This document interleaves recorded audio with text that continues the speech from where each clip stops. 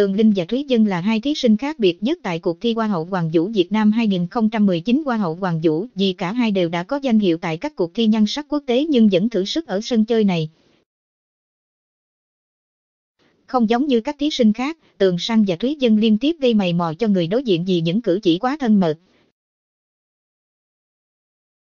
Không chỉ ôm ấp một cách đầy tình cảm, hai người đẹp không kinh cũng dành cho nhau những nụ hôn ngay trước mắt các thí sinh khác.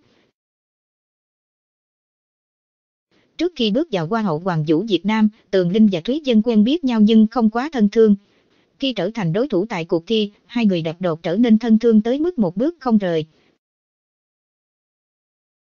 Tường Linh chia sẻ, các hoạt động và các thách thức diễn ra liên tiếp nhưng mỗi khi căng thẳng cô lại có Thúy Dân bên cạnh để sẻ chia.